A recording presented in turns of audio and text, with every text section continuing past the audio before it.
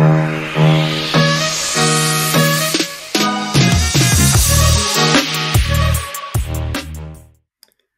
Matt, how's it going? It's pretty good. Pretty good. And what about yourself? Well, uh, going pretty well, man. Um, look, uh, welcome to the to the podcast. Uh, this is something uh, that we've been wanting to do for a long time, but uh, just finally got around. Um, you know, talking to interesting people like you yourself, and um, uh, yeah, let's get started, Matt. Um, first of all, where are you right now? Uh, right now, I'm just outside of Amsterdam, in uh, in the Netherlands. It's pretty much where where I'm based for the for the for the most part. but I, I I hoon around a bit, so oh, never quite sure where I am. yeah, that's why I asked. Um, yeah, how's how's things uh, in uh, good old uh, Amsterdam, man? I'm getting a bit. Uh, I'm getting a bit over winter. It's just starting to break, but it's uh, Amsterdam and the Netherlands. It's it's fantastic in the summer. Long days, lots of festivals, lots of partying. But during the winter, it's just kind of short days, very cloudy, very rainy.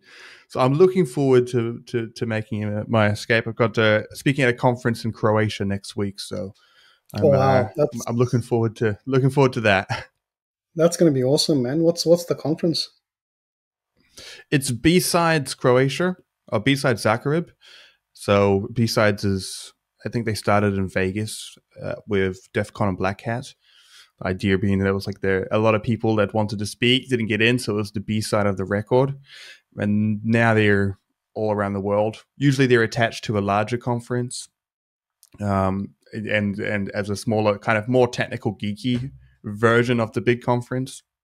So RSA has one and uh, and so on. So uh, but yeah, now they're pretty much a standalone a standalone thing. So that's gonna be it's gonna be cool to kind of talk to some other uh, some other hackers and uh, fellow geeks and uh, geek out for a bit in Croatia.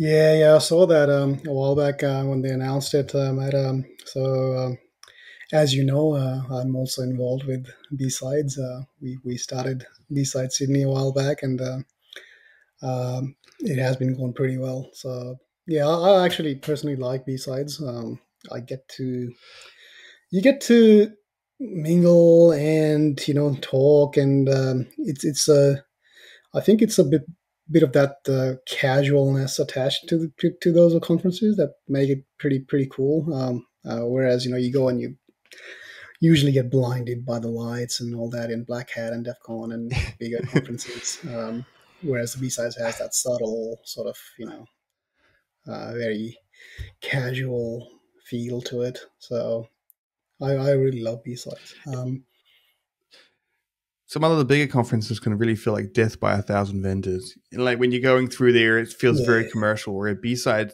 B-Sides, you know, they have some sponsors, but it, it really feels like the, you know, that uh, the the the conference is about the people. So so it's yeah, uh, yeah, no, it's and a cool. lot of a lot of sponsors understand that as well now. Um, uh, so that's a that's a good thing. Uh, like the sponsors we've had at B-Side Sydney, um, pretty much just came in uh, to help out. Um, you know, not to sell. Um, a lot of them didn't even have their salespeople there, to be honest, and uh, you know they were more a part of the community, um, and a lot of their sort of uh, vendor booths were kind of being managed by uh, tech tech people as well. So it really was, um, you know, a very friendly sort of uh, not trying to sell anything type uh, atmosphere, which was pretty cool. Uh, I mean, you were there, so you would have seen that. I was there. Yeah, that was that. Uh, no, it was. It was. It's. They are always cool conferences, and I work for a vendor called GitGuardian, and, and we you know, we we spent the I think it's like fifty grand or something to get the booth at Black Hat and things. We've given up on that, and we're we're sponsoring B sides and OL stuff. And it's not even about uh, having your wares there. It's just about kind of if you're an active part of the community, people and you have positive name brand association, people will give you the time of day. And if you spend fifty grand on a Black Hat booth, then like. you know, you're not going to get that. And they go up. They, well, last time I was at Black Hat, they had the um, uh, I went to the auctions just to check out what's happening because it's like the second day of the conference at midday they do an auction for the big sites so you don't even know how much it's going to cost you to get like a big booth it could be a hundred grand it could be 400 grand they had this auction and it, it, to try and make all the vendors feel really pressured and they haven't even had a full conference to kind of make their decision yet so the whole thing feels pretty besides it's i mean black hat's cool but it feels it just feels so like a money grab at the end of the day yeah, there uh, there goes our Black Hat sponsorship. But um, um no, I, I, yeah, look, I, I understand exactly what you're saying, Matt. I've been there. Uh, I've also spoken at Black Hat, um, so I do totally understand. I totally understand and get that. Um, but at the same time, I mean, personally, I think they bigger sort of uh, you know black hatty type conferences do have their place in the industry um, for you know certain reasons and uh, certain audiences and all that. Uh, a lot of cool stuff comes out of them as well, um, uh, as far as like research and all that goes. But yeah, that that whole uh, vendor sort of uh, vendor festy feel uh, is also attached to it. I guess they kind of go hand in hand. Um, you know, you got to make money to put up these big shows and. I'm pretty sure, um, you know, if, you, if you're talking about RSA, for example, um, the amount of money they spend on uh, venues and catering alone would be I don't I don't even know that uh, we're into millions I think. Yeah but, yeah. uh, so it's a bit of a both of the things you know combined. Uh, definitely right and I think if you have the money if you're a big company if you're Sentinel One or you know like then then absolutely spend that money on it. But, but I think if, if you're if you're still establishing yourself as a brand I, I, think it's better to go for smaller conferences that are more focused on communities. Um, but that's because I'm part of those communities. So, like, I'm always going to be biased, and I got nothing against Black Hat and RSA. yeah, definitely, man. Um, uh, just, just keen to like um, for for the listeners. Uh, so, Mackenzie and I uh, obviously, uh, you know, uh, spent some time together back in November when he uh, traveled down to Sydney in Australia. Uh, Mackenzie uh, presented his research at Hack Sydney um, last year. He also uh, uh did a talk in uh, at B Side Sydney. So he he hung he hung around for a few days in Sydney. Uh, that was pretty cool. So we met at Hack Sydney, then we also met at B Sides again. I got to know Mackenzie pretty well during those um, those conferences, and um, it's really cool to uh, uh, be talking to you again, Matt. Uh, you know, uh, it's only been a few months, but uh, still a lot has happened in those months. Uh, I just wanted to ask you, what were your thoughts on Sydney in general, um, and you know the conferences that that you attended back in November? So, look, it was it was a very cool vibe, and I think the context around like Sydney had just had, I mean, Australia had just kind of had the the, the Optus breach with the exposed oh, APIs, yeah. and you'd also had the Medibank breach. So you know, like I think that's important context when you're coming into to it because because people were really were really there to to to figure to figure it out. Um, and, and I think a lot of people felt like there was uh, a lot of vulnerabilities kind of in in the sector, which is true for anywhere. It just happens to be uh, after after a big breach where people make a lot of effort. So that that was really cool because I mean not not that the breaches were cool, but what was cool about it is that people weren't coming into the conference to hang out or to try and get their work to buy a three hundred dollar ticket so that they could uh, you know just escape for a little bit. People were there to actually implement change and learn about this, and I think that that feel uh, was was really cool. And um, you know, I, I I wrote an article about it at the end, and because I really felt like th- this was kind of a pivotal time in Australian cybersecurity space because everyone was kind of aware that change needs to happen, um, and and now was the time to do it.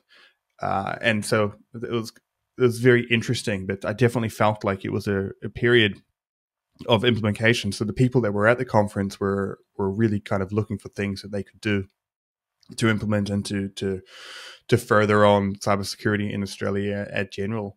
So that was kind of the the, the general the general vibe that I got, and I, I definitely I definitely that's that's that's that's exactly what you want as a, as a speaker because you know it's it's conversations happen quickly at the end of it. People are asking the right amount of questions. The right people are there, the ones that can actually affect change and and deepen cybersecurity. So very interesting, uh, very interesting conversations to have uh, around it. So I thought that the whole Sydney uh, kind of vibe was was really cool, and having the two conferences right next to each other meant that you could actually it wasn't just high and by.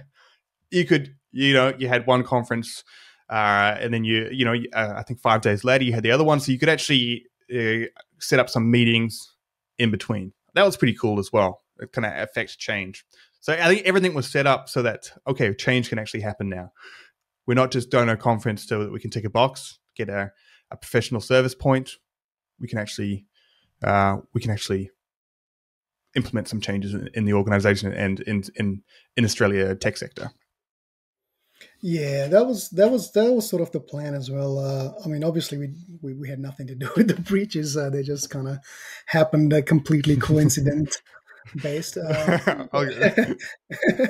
but uh, it was uh, again, you know, the breaches were not cool, but it was kind of cool that um, you know the conferences were sort of happening right after those, so there was a lot to talk about. There was a lot to discuss, and we did sort of set up the whole thing in a way where again, you know, going back to the history of B-sides, uh, I have been involved with B-sides for many, many years now. Uh, you know, I presented at a few uh, back in uh, France and UK and all that, and started Sydney.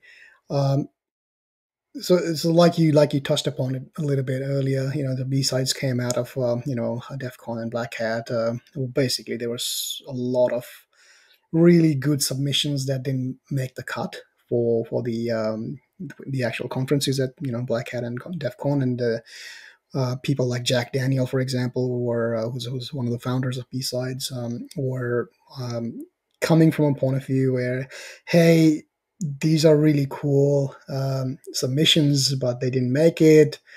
Uh, it'll be a bit, bit of a waste to not not having them, you know, uh, come out and speak about this stuff. So they started this whole B sides thing um, based on that, and got all these guys, um, you know, to present at B sides. Uh, and obviously, it grew into something uh, which is just uh, well, now it's so big, and uh, you know, it's basically every city's got one, uh, pretty much. Um, so the whole idea of us doing this the way we did back in November last year was also kind of replicate that in a way where you know we can have rather than just a Sydney conference thing, we could have a bit of a Sydney uh, security, cyber security, infosec type week, where yeah, especially people like yourself, right? And uh, back in Hack Sydney, you would you'd have seen there were a lot of uh, international uh, speakers and attendees who um, were coming from UK, uh, Europe, for example, like yourself, uh, Israel. Uh, lots of uh, people from New Zealand. So if they're making that effort to come all the way to Australia, which is a pretty long flight for someone coming from Europe or America, uh, might as well get uh, as much value out of that trip as you can. Um, so we kind of married this whole thing together. Um, and uh, this year we're actually planning to do it even um, better from a from a, um, scheduling point of view, where it might be something like um, Hack Sydney starts on a Thursday um, and it goes on to Friday. Uh, we finish it off Friday night, and Saturday we do the B sides, and you know it's like bang, bang, bang, everything done hmm. together. Mm. So if someone like you is coming in on a Monday, you've got at least three days to you know get used to the new time zone or whatever, uh, get a few meetings done, and then finish it off on a weekend, and then you know off you go, sort of thing. Um, so it's it's good to know that you know it kind of worked out the way we planned last year. Um, we were really stoked, man, uh, when we saw uh, all the few guys coming in. I mean, the international participation was something that was quite surprising. Like if you look at the speaker lineup, man, we had people from um, uh, we came from Amsterdam, we had people from America. UK, Israel, a bunch of people from New Zealand, um, lots of interstate people, uh, like Thomas uh, traveled from Melbourne, for example. Um, it turned out to be a pretty, pretty, pretty great um, gathering of people, and uh, the mix of people was pretty solid as well. Right, we had you, um, then we had a bunch of offensive guys, and then we had a bunch of um, defensive guys, um, some policy type people. It ended up being exactly the way we would have wanted it to be, but didn't have enough confidence or didn't wanted to jinx it too much by you know expecting too much. Mm. Um, so that was really cool, man. Yeah, I, definitely. And I think in the context of like Australia just being locked down for so long, uh, kind of not being able to have these physical events, plus the breaches, like it was the perfect storm for everyone. Just to be like, okay, we need to, we need to get, we need to get involved in this. And I think that, that was uh, that was really cool. Did, did B side Sydney? This wasn't the first one. You'd you'd you'd run a B side Sydney before, or was this the first B sides Sydney that you, uh, you ran? No, so we started back in 2019, um, and right. um, I'll give you a little bit of a story uh, if you're interested, or if the listeners are interested, how it actually started. So. I knew about B sides for many, many, many years, as most of most of us did. Uh, so I used to work for a company called Tenable uh, back in the day. No one knew about Tenable when I was there. Uh, we just used to say we work for Nessus because everyone knew Nessus. um, and Jack Daniel, one of the co-founders of B-Sides, uh, also used to work at Tenable uh, at the time that I was there. So obviously I knew about B-Sides and all that stuff. And um, later on, I started when I started speaking at conferences and sharing my research and all that, so I did a few B sides uh, uh, talks overseas, and I think it was B sides France uh, when uh, I did the talk. It was a really small B sides. I think it was the first B sides, or maybe maybe the second one uh, where I was in France. Uh, it was in France. Um, it was in Bordeaux, so beautiful part of France and I did the talk, and afterwards, uh, you know, as you do, you you just linger around and talk to people and all that. And a lot of people came up and say, "Oh, that was, you know, the usual stuff. Oh, really good talk, man. Um, I enjoyed and all that." And uh, pretty much everyone had this next question, uh, which was, uh, "When is B side Sydney?" And I don't know why people just sort of expected it to be there maybe it's because you know Sydney is a pretty major city in the world, and you know most even smaller cities nowadays have B sides, and they were like, "When is B side Sydney?" And I just got sick of just telling people that there is no B side Sydney. Um, um, you know, and then I thought uh, we should do something about it. And I got in touch with Jack, and I was like, "Hey, man, what's the story with B side Sydney?" And he was like, uh, "It just never happened." I was like, that's pretty, pretty, pretty strange. Such a big city, such a major city in the world. Um, and uh, yeah, so he just said uh, a few people actually tried, um, domains were registered and stuff like that happened, but it just never sort of uh, got off the ground. Uh, so I asked him, uh, "What do you reckon? Can can can I do it?" And he was like, "Yeah, yeah, go for it. We, we there's no dramas with that." So I um, I teed up with John, and I was like, um, Matt, um, do you want to help me with this? And John was all in. Long story short, we started it um, back in 2019. We did the first one. Uh, it went really well. We had um, pretty, a lot of really good speakers, lots of, um, again, you know, um, felt like the population was really crying out for, for B-Sides Sydney because we didn't have anything.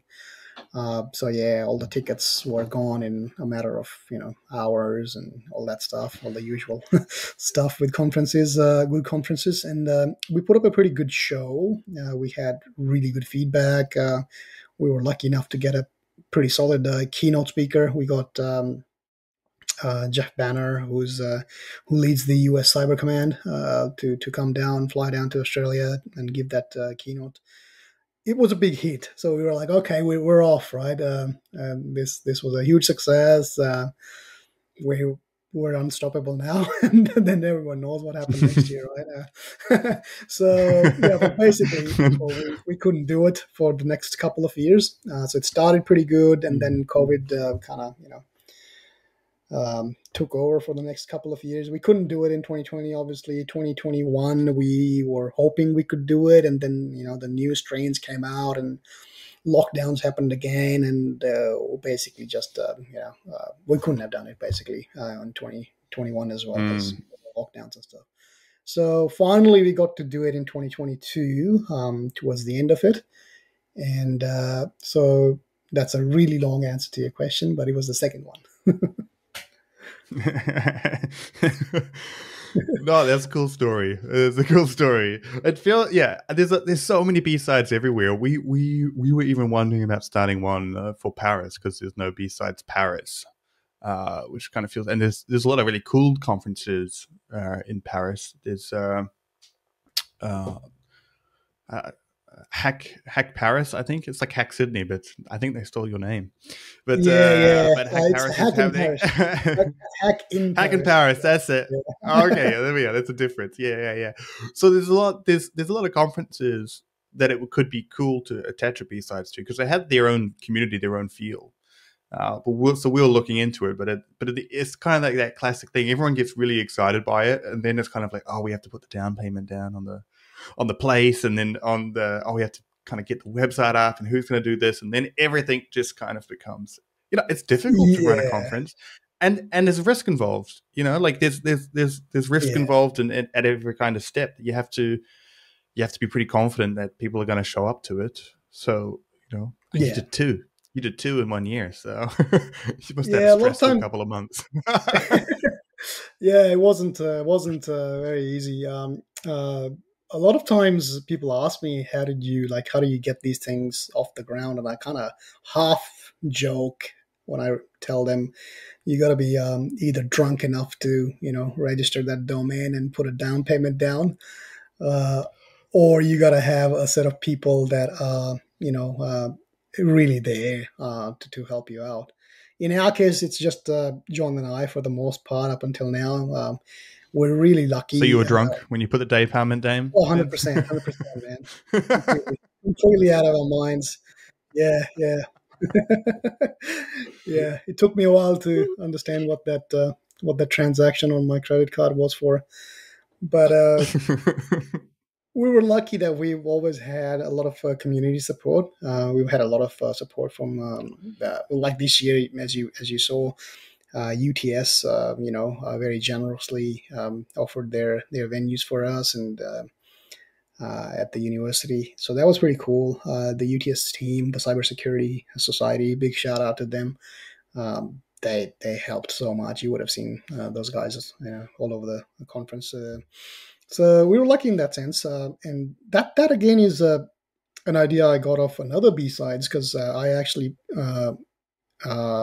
presented at uh, B-Sides Bristol, and that entire conference was done at the University of Bristol. Um, so when I came back, I was like, we should we should reach out to the universities and see because the whole idea of us doing B-Sides is obviously not to make money. It's a not-for-profit venture completely.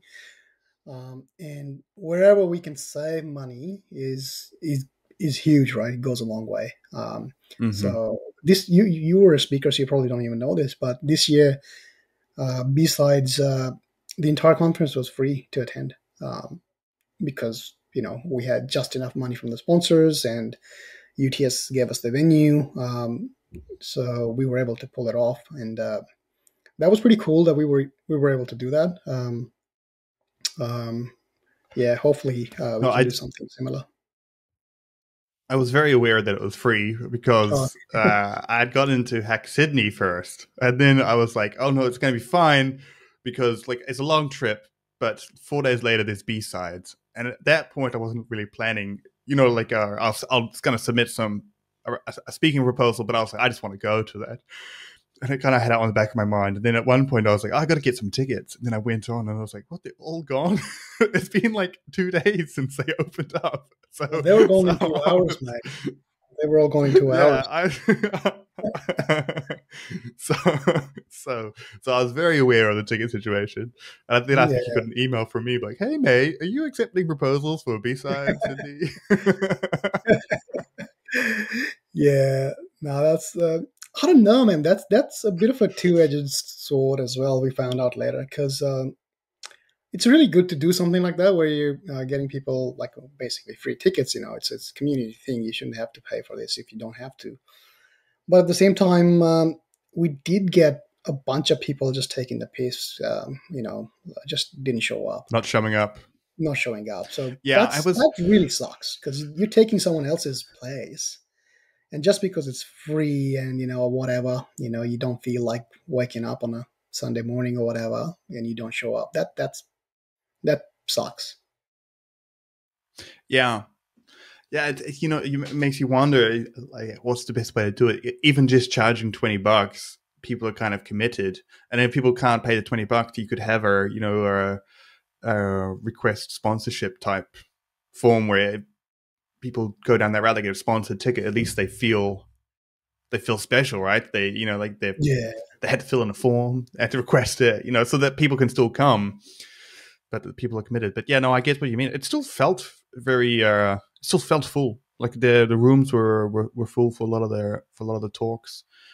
Um, so really good. Yeah. There was a great diversity in there. I mean, you guys had some technical talks, and then you also had uh, that awesome guy that uh, I forget his name, but he was he had brought with him all the Enigma old Enigma machines and was explaining cryptogra- oh, like, yeah, cryptography was... throughout throughout the period and spy yeah. stuff, and they had all these toys of him. Like I was like, damn, that's cool. that was really cool. Yeah, that, that was, was packed. Yeah, hundred percent. That was one of the coolest talks um, at uh, just just to be able to see those things was uh, uh, super cool. Uh, yeah, yeah. But back on that thing, um, so this year we'll probably make it like like exactly what you were saying, and a lot of people have said this um, like a twenty bucks sort of a ticket where you know it doesn't really you know breaks the bank or you know not too hard for most of the people in cybersecurity. I guess twenty bucks is not that much of a money mm. uh, problem, uh, but uh, at the same time we kind of feel a bit more committed because the problem is really just that right even if you know 50 people don't show up that's 50 people that could have gone there and um, you know we had a long waiting list as well so we could have had those people uh, in there and it's just it, it, it's not it's not cool yeah yeah no i can imagine that would be very frustrating uh, to do it yeah it is a shame but uh, you, you could also kind of imagine someone someone's interested they reserve their ticket then the they go out in the town on the Friday night, Saturday, and they. Yeah. you know, they, they never were going to show up, but they have an excuse now. You know, so I mean, it's a, yeah, yeah, it's a problem. Oh. Yeah. Oh well. Oh well. Um, what else is happening in your world, man? How how's uh, how's GitHub looking? Uh, you guys keeping it secure? yeah, we, are. we, we're actually just about to release uh, 9th of March is the date at the moment. So we're about to release our, our, our big kind of research project for last year. So I work for for GitGuardian, and we we scan our. We're working code security, but one of the things that we do, and I, I guess it's kind of something we're known for, because it gives us a lot to talk about, is that we we scan every commit that goes through GitHub. So, uh, if you don't know, GitHub is a code sharing platform. It's the largest in the world. There's about 100 million developers that use it and you kind of if you're in tech you need to use github because it's it's almost like a portfolio of your work. It's where all the open source projects are committed to like well, at least 90% of them. And so uh, you know a commit or a contribution to code is is kind of you know uploading code to github basically. And that happens a billion times every year. So it's just a constant st- stream of fire hose of information. We scan all of it so we scan all of it to to make sure that uh, that there's no code vulnerabilities in there. So on the 9th of March, we release what we find, and we find some we find some really interesting things uh, there. So I can't give you the results, but the first year that we released the report, we found two million credentials, two million secrets. Last year, so throughout 2021, so last year when we released our report, we found six million. Wasn't quite a three times increase because we had expanded our scopes. Yeah. Uh, and then this year, this year we've found a lot. So like a lot, yeah. a lot of uh, really interesting things, and we've teamed up actually with a couple of different organizations too. We have some research from Cybernews in there. We have some research from a company called DarkOwl that focuses on uh, dark the scanning of the dark web, and so we're yeah. kind of putting all this together in a report. So yeah, it's pretty scary. It's pretty scary the opportunities that attackers have to be able to find uh, this information and and and we're learning more about how it's processed because you know a lot of people kind of think that they're protected by obscurity like hey no one's really interested in my personal project no one's going to to to find out if I leaked something, right? But but what happens is you have people that are just like us scanning all of GitHub, obtaining all this information. They're not the ones that are going to launch an attack because they're the ones that, that, that are going to sell that information on on the dark web. So you, you have multi layers and steps of this. So it's kind of like the first group is just after everything, and the second group they want to buy specific credentials for specific people in specific country companies. So you want some Google credentials. Well, I have a list of a million credentials that we found last year. I have 150 from Google employees. You take those. They're they're a thousand bucks, and that's what happens. So it's it's it's kind of and we're with with uh, with DarkOwl we're able to kind of track this to see to see how actually these things get exposed and end up uh, being sold. It's pretty ah, pretty freaky, I gotta say.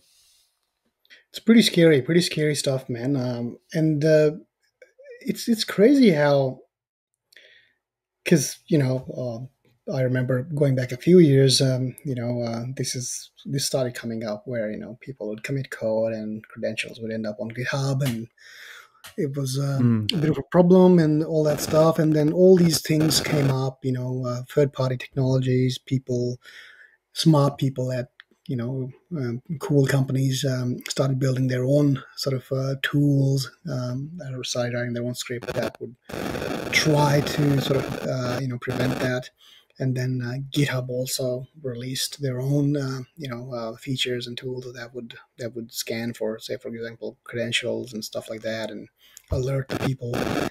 Uh, but looks like it's done basically nothing, right? Because uh, it's it's growing every year, like you just said. Uh, it's it's pretty scary. So, what do you think is is happening there? Is it? It used to be devs were just being not careful, or you know whatever. I don't want to use the word lazy, mm-hmm. but uh, just not being careful and uh, it's important to you know point this out that a lot of people blame devs for security problems, uh, which should not be the way. Uh, it's not their job. Uh, yeah, they, they need to follow the whole you know SDLC and try to make the uh, whole lifecycle as secure as possible. But at the same time, you know, there's, there's uh, other people who specialize in that, and you know they should be reviewing the code and all that. But basically what was happening was, you know, um, devs were not being careful or whatever, and they were you know, committing code without checking or without confirming, and credentials would end up on GitHub. Um, do you think that still is a problem? It's exactly the same problem that's still happening, and it still needs sort of similar uh, approach to solutions where you either have um, you know a sec team that's uh, basically you know, reviewing code before it ends up on GitHub, or using tools that do that for them. Uh, what's happening there? Because this thing is not going down, uh, like you just said. It's you know mm. three times more last year. This year it's probably ten times more. So what do you reckon is happening there? Well, you know, it's there's a lot that, that goes into this, and there's a couple of reasons what what triggers the increase and why it's not improving. So, like first of all, we've we've changed so much how we uh, how we use these secrets. So you know we're we're becoming more and more of, a, of, a, of an architecture of microservices and microsystems, which all connect in third party services. And each year that expands, you know we have you know our IDEs are even going online now. You know we're uh, we're we're connecting all these different uh, systems and pipelines and CI/CD. All of this requires secrets. All of this requires everyone to handle a lot more secrets. So, ten years ago, developers weren't handling secrets as much as they are now. Now they're integral to everything. And then, and then the second part is not is not almost kind of developers being lazy and making mistakes. It's actually just misunderstandings of how Git even works. So for example, uh, you know, like people don't don't realize that when when you make a, a, project, when you have a private project and you make it public, right? You do all these code reviews. You make sure all the code is spotless and crystal clean. But you're only doing that for one layer. You're doing that for the latest version of uh, of uh, of of your of your application. So what does that what does that mean? That means that like you have all this history that also is a risk to you that people don't okay, think about. Yep. So it's um it's it's so when something goes when something goes yeah public then you, there's there's much more there's much more depth to the security risks than I think people people realize. And, you know, and, and same when you're working on a development branch, you hard code credentials just to to check that they're working. You remove those credentials, and uh, and then you commit your code. In the code review, those credentials won't show up because you've removed them, but they're in your history. They're in some obscure dev branch that no one's going to check, right? So that's it's kind of misunderstandings of how of how this happens. And uh, yeah, and there's some unique things about GitHub. We have usually have one account for our professional use and our professional use. So we use the same credentials for our company as our private organize as our private kind of work. This makes it really easy to accidentally have the wrong remote locally on your machine, and you could push corporate code to a public repository. Um, you know, very very easily. You copy something into the wrong area. All, all of these things kind of contribute to that. So it's for for this to to get better, we kind of need to fundamentally change a lot of uh, a, a, lot of how we kind of build and, and architect our our applications. That's that's that's one of the, the, the key things that we really need to do.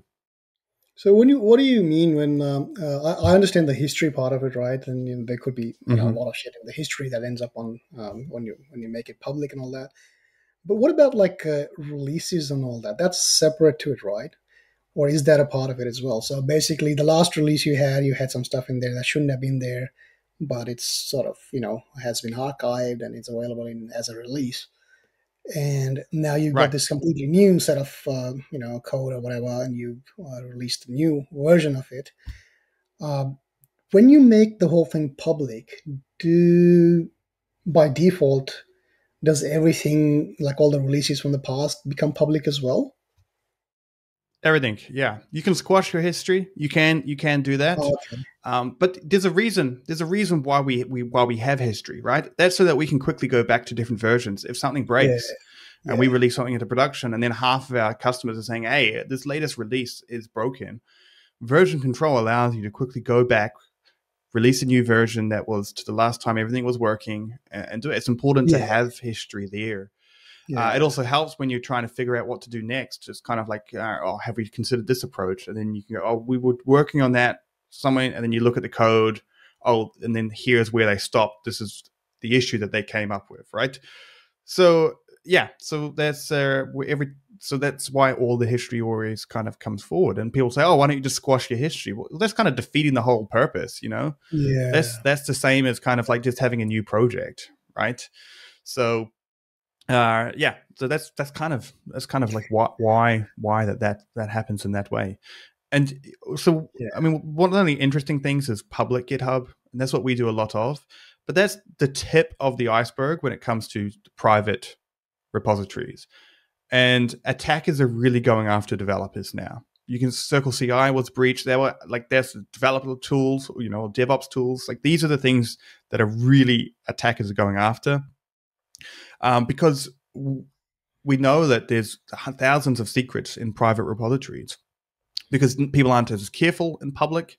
So the, the problem and getting into a getting into your source code is much easier than trying to get access into your uh, you know a secure network because uh, every single one of your employees has GitHub access uh, to your private organization or Bitbucket or GitLab or whatever they're using. You know, that a lot of a lot of your development teams all have access to this. I just need to compromise one of your developers to be able to gain access to that source code. Um, it's on local machines. It's in backups. It's in wikis. I got lots of places I can try and find it. Uh, so it's the the private repositories are kind of really, really where the scary stuff is because yeah, public we can talk about it. We can show you scary numbers. There's huge amounts of volume. Yep, we can show you how attackers use this. But it's really like that just re reiterates the purpose of, but it's private repositories that are like really scary. And I mean, like, how many breaches did we see last year where they released a source code? Microsoft, Nvidia, Samsung, Twitch, all of these companies had their source code leaked uh, last year because uh, you know attackers were able to to to to ransom it, and then whether ransom was paid or not, they they uh, they just released publicly the the the information. Yeah, that's that's that's pretty scary stuff, man. And uh, the other thing as well is like just imagine how much not imagine you probably know this already um, you know how much code actually resides on github today and uh, how much of it is really critical um, you know um, code basically you know looking after critical systems and stuff like that and uh, just just um, imagine if um, some bad actor was able to get into github like uh, like properly pawn it or you know find a big exploit that actually works um, it'd be a mm. bit of a disaster, wouldn't it? Because um, at the moment, by whatever oh. they're doing, um, you know, by uh, getting access to individual accounts and all that, even then, it's it's so bad. But and there might actually even be something that's just not disclosed. pretty, pretty, pretty. Well, uh, well, GitHub did have a GitHub did have a breach recently, and it wasn't quite so bad. But but you know this is something they'll after. But it doesn't even need to be Git, GitHub. Like for instance, uh, CodeCov is a is a code coverage tool. So uh, it sits in their CI/CD pipeline. So basically, when you release code, you can run all these checks to make sure that the code's working correctly. One of those checks is to is to basically check how much of your code is being checked. You want 100% code coverage, which means I'm testing 100% of my code. Code CodeCov is just a tool that lets you know how much you're being tested. It's like very very niche tool in your CI/CD pipeline an important tool to have, but nothing like super critical. Can you explain CI/CD pipeline for the for the listeners? Yeah, sure. So a CI/CD pipeline is basically when I commit code, it stands for continuous integration and continuous deployment. And what that means is that when I commit code, a whole bunch of things are automatically going to be fired off. So it's going to check that all my code is working. It's going to check for any security vulnerabilities. It's going to check for uh, that that that you know you don't have any broken links and that every everything you haven't introduced any kind of errors that are going to pop up. So it's going to test your application for you, and then it's going to deploy it. So then it's going to package it and ship it off. This means that every time you commit code, you can create a new release. It, it takes the hassle out of it. It's it's really important. It enables us to to move faster. So in this CI/CD, you've got all these different components doing different things. One of them was probably checking to see how much of your code is being tested. Very, very niche. Nothing that has critical access to anything. So nothing that you're kind of really thinking too much about. But this company, CodeCov, uh, was breached. Their application was turned malicious. And what that did was it basically, uh, when you're a little bit difficult to explain, but when you're testing your application, you need to build your application. Therefore, you need to connect to your database, your code. So you need lots of secrets, you need lots of credentials. They're securely stored, but they are still stored. Basically, what the attackers did was because this application was running in the CI CD pipeline, they were able to send all of those credentials to the attacker. And the attacker was then able to kind of access your private GitHub repositories or whatever VCS you're using, access all your source code, because this one component was turned malicious. So, so just one small thing was turned malicious, and then they attackers were able to get all the keys to your kingdom, and then get access into your private infrastructure like your source code. So, like, it doesn't even need to be GitHub that that's turned malicious. It could be, and Circle CI had a massive breach re- this year. So, this is a, another thing that could that really could could be significant. So, it's there's a lot of things there's a lot of things that can go wrong. I know that's a little bit technical, but but basically the, the point is is that you don't even need to do anything wrong for you to be breached. It could just be a third party system that you're using. Yeah, we saw that just uh, as we woke up this morning um, uh, with this. I don't know if you've even seen it uh, by now. Um, the Atlassian uh, breach that happened. Uh, oh, what? Yeah, so this, I, I, think it just came out uh, early this morning, our time in Australia. well, basically, a third party app that was breached and they were able to get into Atlassian and uh, really weird stuff, man. They released some um, floor plans of their offices and uh, they also released um, uh, some PI related to the employees. Um, um, so yeah, like exactly what you were explaining before, right? Um, you do everything the right way, and then you know some third-party app that you're using um, has a problem uh, that gets exploited, and uh, you end up uh, with a big problem Jeez. of your own. Yeah, so that was just breaking this morning, uh, which was yeah, it's always uh, sad to sort of you know wake up to news like that, um, especially for yeah, us. the CISO's having a bad day. Yeah, yeah, yeah, yeah. But uh, hey, um, with the with so you you guys um, um, basically continuously scan GitHub, right? And I'm assuming that most of that or a bulk of it is, like you said, just the public GitHub. What about the private ones? Does that mean you have to have some sort of a contract with the owner of the repository and then they give you permission to scan it, or how does that work? Yeah, exactly. So, I mean, if you're just an individual and you have private repositories, uh, then you, you probably have lots of different uh, different tools that's scanning your software for, for various things. So you can easily integrate secrets detection or other code vulnerability detection in there. Where it gets really tricky is like if you have large corporations, and that's because code is usually like self-hosted, so that you create your own kind of version of GitHub or GitLab locally uh, that, that, that that you run and control, right? Because when you get large enough, you stop trusting other companies. So then it becomes more difficult to integrate uh, you know security into those into those systems. You're talking about huge volumes of code, especially if you have thousands of employees. So it, it does get tricky. But basically, that's essentially that's what happens. We you know we we form contracts on those on those companies, and we roll out our infrastructure into into their systems.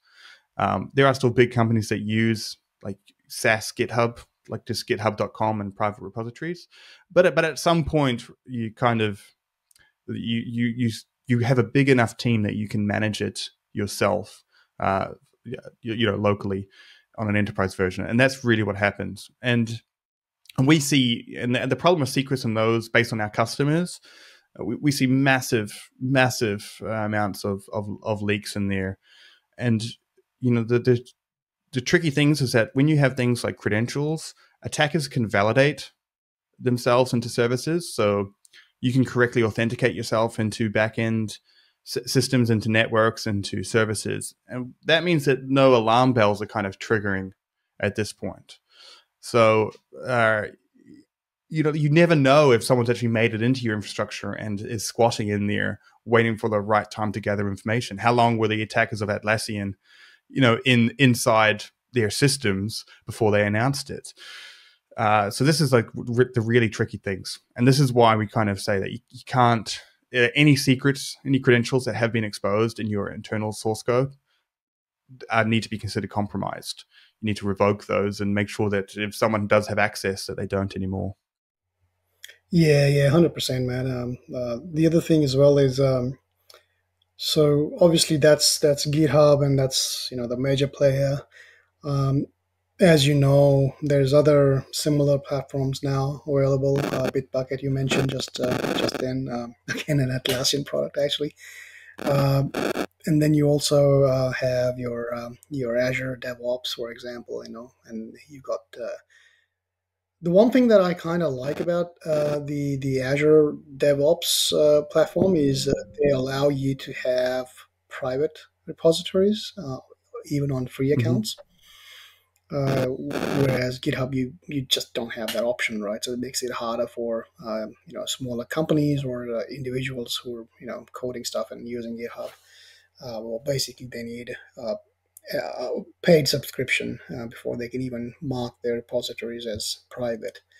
Um, whereas in, in, in Microsoft um, uh, Azure DevOps, you can you can create these, and a lot of people don't even know that for that's interesting um, yet. Um, I guess that's because everyone just assumes GitHub is the go-to uh, platform for this. Um, so with these uh, other platforms that are much smaller compared to GitHub at this point in time, I guess, do you guys uh, sort of dabble in that at all, or what's the story there? Yeah, so we integrate with like any version control system. It's really interesting. Azure DevOps is kind of the biggest player along, alongst um, private companies that we're seeing. You know, outside of GitHub and that, but Azure DevOps really has a has a has a growing, kind of growing movement, which is weird because Microsoft owns GitHub and Azure DevOps. Exactly, they own both of them. So it's kind of like we always assumed that Azure was going to be killed in favor of GitHub, but it, it hasn't. Like not Azure, the the kind of cloud hosting, but Azure DevOps, uh, their um, their VCS. So yeah, it is. I mean, it is really interesting. GitHub is is the place to be for for open source uh, code I mean, you can create private codes on GitHub for free now. Uh, uh there's limitations in working in with teams. Like, uh, yeah. uh, so when you, so a company, that's where the limitations of that uh, happen. Um, and GitHub's trying really hard to become uh, the choice for that. They've got like all these security features, GitHub Advanced Security, and and other things. But um, but but to be honest, people are kind of in favor of these other solutions because they're they're a lot more more nimble and, and, and flexible. GitHub is such a huge beast now that you want to yeah. host it on prem. You know, like that's a that's a huge that's a huge undertaking, and you kind of is there's kind of options to do everything, but but not. Uh, but not kind of an individual thing. What I mean by that is take GitHub Advanced Security. GitHub Advanced Security does 10 things kind of okay but if you want to have really good secret detection or you want to have really good software composition analysis, you know, going for best of breed because you have a problem or security problem or you have a specific scenario where you need to protect yourself. Like with GitHub, that's not the option. It's kind of all or nothing. So that's I think that's why we're seeing a lot of these other players really kind of maintain, uh, you know, kind of their their their position in the market, and it's why you know like GitHub's not going to roll over Bitbucket. GitHub's not going to roll over GitLab. They all have their specific niches of, of why they're good. But in terms of like open source stuff, man, it's gonna it's, it's gonna be hard to to compete with anything with, with GitHub. I mean, like uh, years ago, I would have said the same thing about SourceForge. It's like, wow, SourceForge, nothing's ever going to touch it, and then GitHub rolled along and killed them. Um, now you're just but, showing you know, your age, man.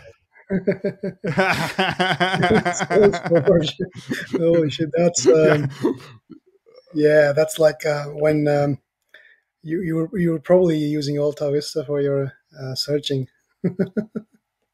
Yeah, yeah, yeah, yeah. I can't even I can't even remember exactly. I remember discovering SourceForge for the first time. Like, Look at all this code that I could use, like just for free. There's so much code here. You know, like I was sort of the duck's nuts, and then yeah, now, like yeah. But the problem with Source yeah. Source Forge, I think, was it was literally just a mess. It wasn't like a lot of them were just executables, like compiled final product D type stuff, and there wasn't much yeah, source. Uh, for sure, there's. I mean, there's lots of issues with it that GitHub kind of came in to solve. But it's you know, it's funny like when you when you think back on it, it's terrible. But at the time, it's kind of you know uh, it's pretty impressive. it was the, it was the only place. Yeah, it was the place to be. It was the only place. Yeah, yeah, yeah, yeah. yeah, yeah. It's like if you go even go back five years, you look at go onto Wayback Machine and look at YouTube five years ago. Like it's unrecognizable. Like you can't quite remember when when it all updated, but it's like you know we used to love YouTube back in 2009, and then now it's you go back to 2009 YouTube. It's like how did anyone find anything interesting on here? yeah, yeah. it's yeah. the same for everything. We we we're moving yeah. so quickly. YouTube is a different story. I mean, content wise, they've just kind of exploded as well, right? I mean, back in the day when it first came around, it, it it really was just crazy cat videos you know uh, there wasn't much yeah watchable content like right now uh, it's such a big sort of a one-stop shop now like your babies can watch it all yeah. day your kids can watch it all day you know um, your yeah. Uh, whatever your gamers can watch it all day and um, you know even even your you know the grandpa and grand, grandma can watch it all day with just you know random stuff uh, but the quality has gone up so much um, that uh, it's quite addictive um, you know it's, it's it's funny now that in this day and age it's funny um, to watch your sort of you know uh, uh your your uh, older generations just glued to it. I, I kind of make make make fun of it, but um, uh, I just kind of find it so funny that all the kids are on in the same room and glued to their to their phones and uh, you know grandparents are glued to their phones in the same room. yeah, they're, they're, watching different yeah. stuff, but they're all doing the same thing. it it is funny. I was cause I, was, I have a little uh, a little niece and two little nieces, and you know I hang out with them in there. One of them's three, one of them's uh, one of the one of one of one of them's almost four now. So yeah, four four and two basically. Yeah. And the four year old's like just absolute monster.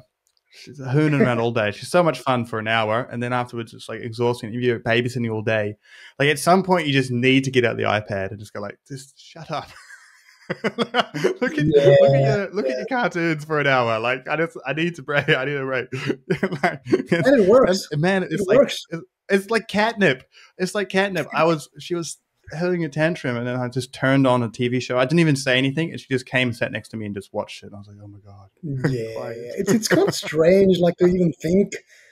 I was talking to my wife the other day. I was like, how did people do this before? iPads and you know yeah. YouTube and how did they what, what did they do like yeah just and everyone all the young remember the young parents like oh, yeah and all the young parents kind of saying oh we're never going to do that you know we're never going to have the the kids on the iPad like two months later yeah it works man it works um you know and uh, be dinner time whatever you know um just put it on, and uh, yeah, it's it's all it's all sorted. Um, road trips, car trips. Yeah, I just can't remember how we how we did it back back when we didn't have uh, you know these portables and stuff. Uh, must have been pretty boring to be honest, man. Like uh, we would have just sat there looking outside, and uh, especially in a country like Australia, there there wouldn't wouldn't really be much to look outside either for hours, right? in Europe, it's at least beautiful, and uh, you know changes quite a lot. Um, which brings me to Europe, man. So, how long have you been there now in in uh, Amsterdam? I know you started off in France. I moved. Paris. You were there a few couple of years. Yeah, and then yeah, in Paris. So I went. I was in Brisbane for for a long time, and then 2019, at the end of 2019, I moved to Paris. Um, I had a startup in Australia called Compago. It still exists today. It's still running. Um, I'm not involved in it anymore. Um, but uh, so, but when I when we left, still getting that, the money from it, uh, or you completely sold out? I'm still a share. I'm still a shareholder. Oh, okay. I'm still a shareholder, but uh, but but um, but yeah, it, it's being run by by a different, a completely different team now, and so it's it's it's it's interesting. You know, like the the narcissist in you wants it all to fall apart when you leave, but all logical parts of you that you're a shareholder want it to succeed. So you know, like it's, yeah, it's quite funny. Yeah. um, but at the end of that, it was you know it was time for an adventure. So uh, we moved to Paris. I had no idea kind of what I would do in Paris, but I was super interested in security, and and I was kind of like, well, I'll I'll I'll, I'll just do I'll just kind of be a be a bug bounty guy if I if. Did you have a job back then, or you just packed up and went to Paris? No, I just packed up and went to Paris. Oh wow, that's you with my girlfriend. Huge. So, uh, yeah, yeah, my girlfriend was already there because she wanted to do her master's uh, at, at, a university called Sciences Po, uh, oh, okay. Science Political University. But so then, but then I kind of yeah went to Paris, and um, that was really cool. But then the pandemic hit, and man, you know, you're in tiny apartments in Paris. I mean, we had a we, our friends were impressed because we had an actual bedroom, like we had because most most Paris Parisian apartments are studios yeah especially yeah, for yeah. young couples yeah but even just having the bedroom was was Luxury. like going through covid it was like so difficult it was so difficult to to survive oh, yeah. Yeah, the lockdowns, the three month lockdowns in your apartment where you needed yeah. what they called an attestation, like a, a, form of like why you were leaving your house. You could only go one kilometer. And Paris closed all the parks. They closed off all the parks in Paris for the pandemic to prevent people from gathering. But so that kind of killed the Paris vibe. I stayed there for, I stayed there until uh, officially I was living in Paris November until November last year.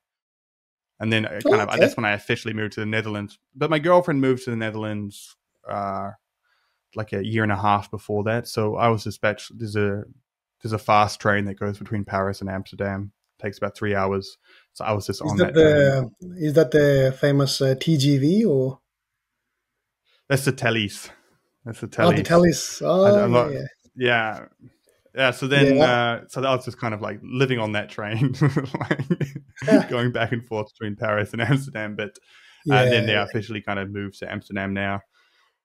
Uh, so yeah, but it's been fun. It's really cool to kind of hoon around Europe. There's so much happening here, uh, and you know, there's it's a bit of a it's a different vibe in terms of tech to to uh, America and Australia. You know, here this here everything's such heavy engineering uh, foundations, and I think there's a lot lot to kind of learn about marketing and and and, and other areas of tech in Europe. Like the, I mean, America and Australia are pretty pretty fantastic at uh, kind of marketing products and and moving forward. Yeah.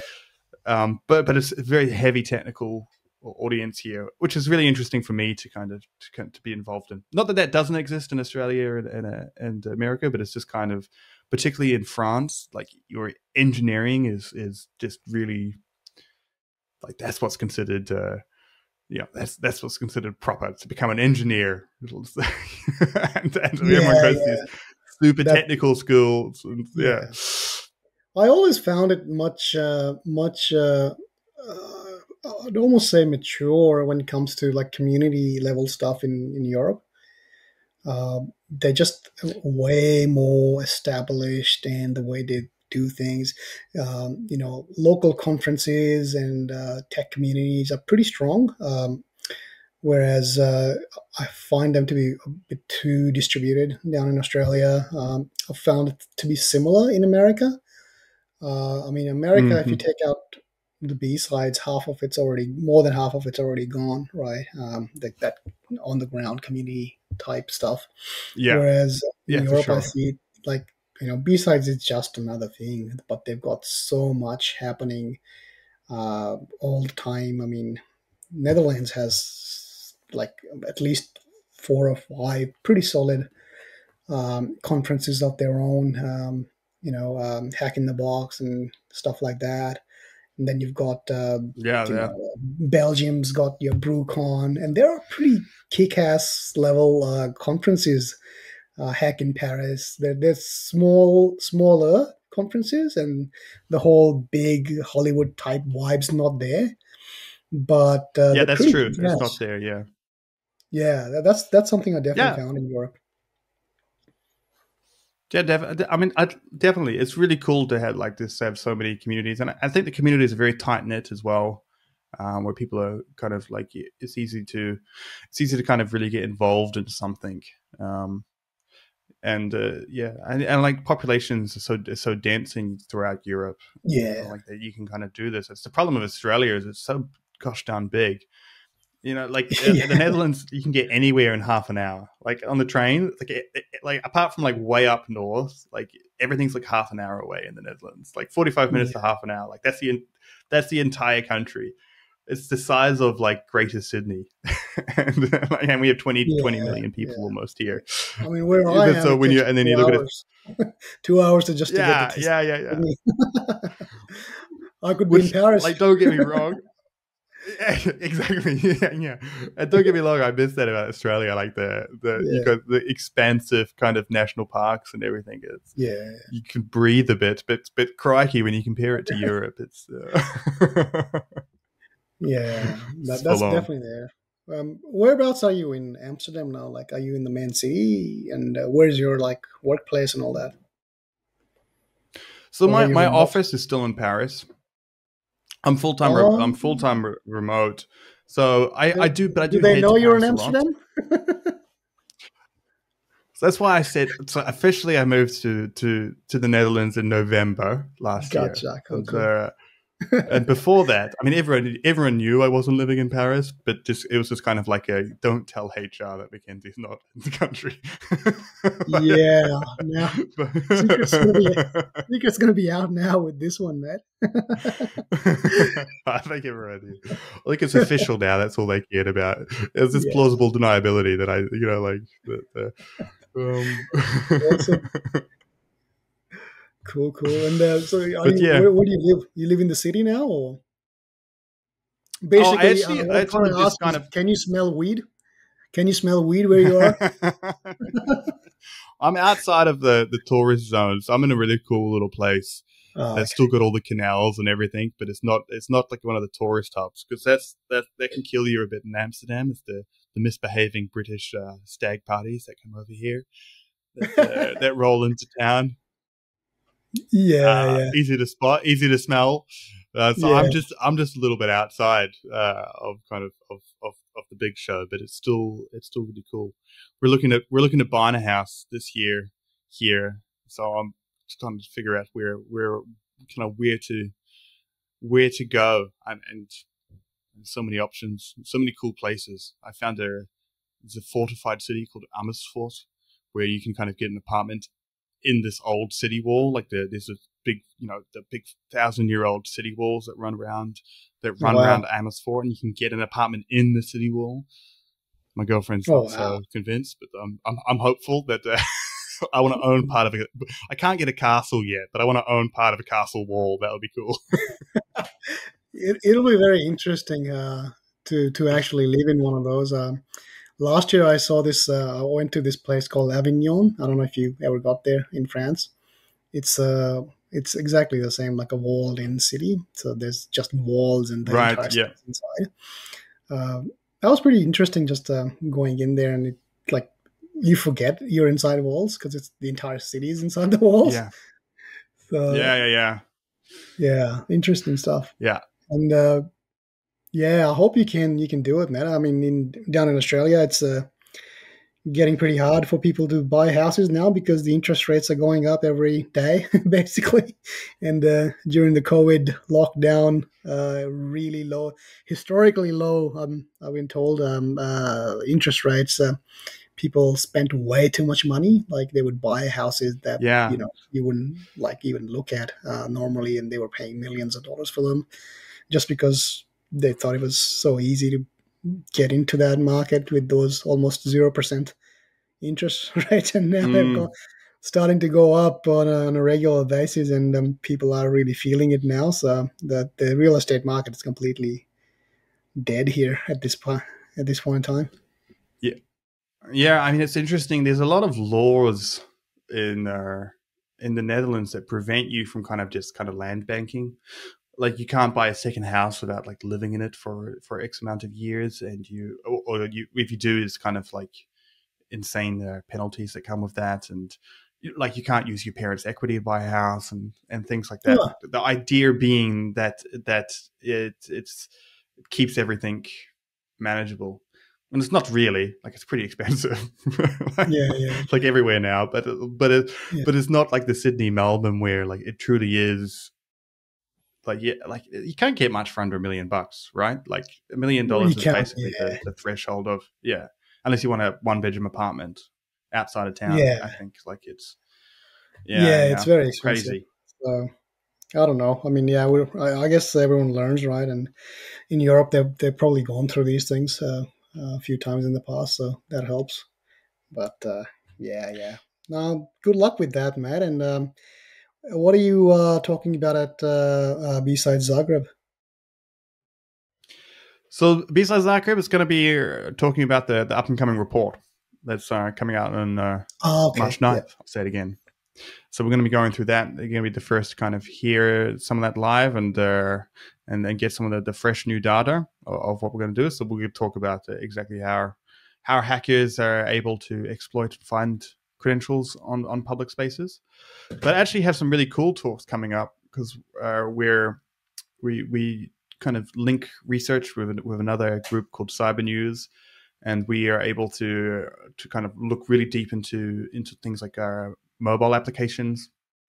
We reverse engineer a bunch of uh, uh, applications from the Play Store and expose how much of them actually contain hard coded secrets in the in the in the APK files and the compiled files themselves. So huge, uh, lots of stuff like that. So we, we, it's going to be interesting this year because we're going to team up with different people to be able to uh, to kind of go through the process and uh, and kind of show in, in, lots of different areas. All right, we know that they're in source code, but where else are they? and inside your containers, inside your compiled Docker files, oh, cool. and, and uh, everything else. So that's going to be really cool this year. There's going to be a lot of talks, kind of. Uh, they're going to team up, team up, team up in there. That's that's really cool, man, and um, especially the in the play story bit. I mean, there's got to be so much in there. Um, you know, you know, when you start looking at all those apps in there, and uh, so this this Oh, report, uh, do you guys make it public after the talk, or how how does one get it? Yep. Yep, yep. So it's uh, if you just type in the state of secret sprawl, you'll you'll get our 2022 report. Uh, and in the top of that report, there's like a form that's like you know get notified as soon as uh, the new report comes out. So that will be that will be released, made to the public uh, for anyone to to download. It's going to be super interesting. So uh, uh, for for for March 9th, put it in your calendar. the state of secret sprawl 2023 comes out. Definitely uh, looking forward to reading it, Mac, and um, you know, getting to know what's uh, what's happening in, in that that uh, sort of uh, that world. And uh, any any plans of uh, it's too early right now, but uh, any plans of coming back, uh, paying us a visit down down here, and probably you know, I don't know, for you, a quick visit across the ditch to to New Zealand, and uh, uh, how's that Yeah. Look, uh, well, we'll, we'll, we'll you know definitely going to need to definitely going to try and make it to Australia again this year. It's it's it's an interesting place, and I th- there's a lot happening in tech in Australia. Like it feels it feels like a, it's like a very mature a maturing market where you actually have some great stories of very successful startups coming out of Australia. Atlassian, Go1, Canva, you know, like uh, uh, and and a bunch more. So uh, it's it's I think it's really getting kind of a worldwide reputation. And, and one other thing, and it's it's I mean, if you look at Atlassian, it's quite a these companies are quite advanced on their technical stack and, and using their latest technology. So so it's it's a pla- it's a place to kind of be to to to to keep up to date. So it's definitely a cool place for me to come. I'll definitely try and come there. Uh, I'll definitely try and come there there this year and uh, and and and come hang out in Sydney again. That was fun. Yeah, that's awesome, man. We'll look forward to that. And um, hey, uh, I could talk to you for hours, like like like I like we did last time we saw each other in Sydney. But uh, yeah, I think I've taken way too much of your time already, Mac. And uh, I, I think you need to go to work at some point. It's just a morning for you, right? Uh, so. Look, Meta, thank you so much for for doing this. Uh, really, really great to catch up. Uh, please come back. Um, you know, whenever you whenever you can. Uh, would love to do another one with you. Uh, I, I think it's just a just an excuse to catch up with with mates, to be honest. And uh, in in the process, if we um, you know get something um, out there that's useful for uh, some listeners, that's that's an added bonus as well. Uh, so. Yeah, definitely uh, up for another one soon, Mac. Um, you know, and uh, try to come down uh, this year. Hack Sydney will be back. B sides will be back. Um, uh, I hate saying bigger and better because uh, that's really not the point for us. Um, or what I'll definitely say better and uh, in a much more organized way. So yeah, uh, invitations open, Mac. Awesome. Well, I'll definitely, uh, I'll definitely catch up with you again. So thanks, thanks for having me on. It's been awesome just to catch up, and uh, yeah, let's do it again sometime. No worries. Thanks, Mac. See ya. Take it easy.